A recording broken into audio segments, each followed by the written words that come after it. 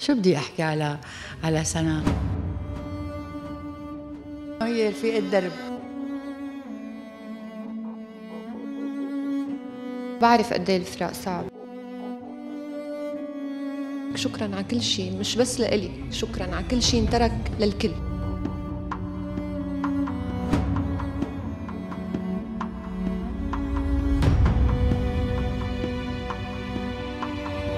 هي رفيق الدرب.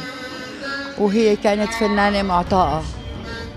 وشو شو بدي أقول عليها؟ هي أنا لعبت أمها على المسرح بمسرحية المدنسة لبنا بنتي ولعبنا الأخوات الشريرات للملك لير. ولعبنا المسلسلات هي تلعب أم مع أنه ما نجتمع أنا أم وهي أم بس بنفس المسلسل. شو بدي أحكي على على سناء سناء الله يرحمها.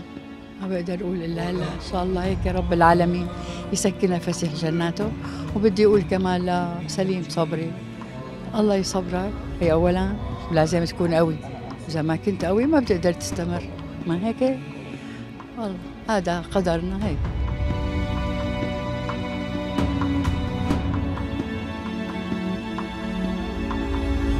بدي أقول له الله يصبره ويعطيه الصحة وطولة العمر.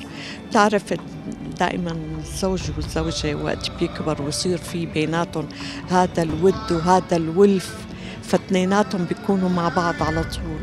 يعني بتصور كتير صعب عليه الفقدان و ما حدا بيعوضه مثل دائما زوجته وخاصة مثل الله يرحمها مدام سناء. يعني هي بحنيتها ببيتها كست بيت كفنانة أكيد هي كانت محتويته بكل شيء بعاطفتها بحنيتها. بدي له الله يعينه والله يصبره ويقويه يا رب.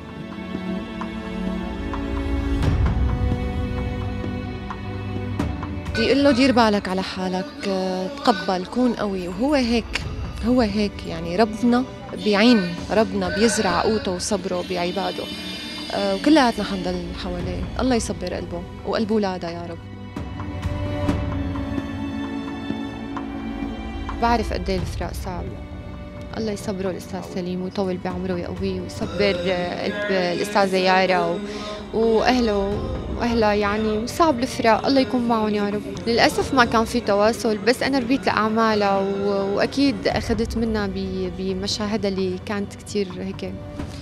كانت كثير حقيقية فيها. شكرا وبحبك. شكرا على كل شيء. مش بس لإلي. شكرا على كل شيء انترك للكل.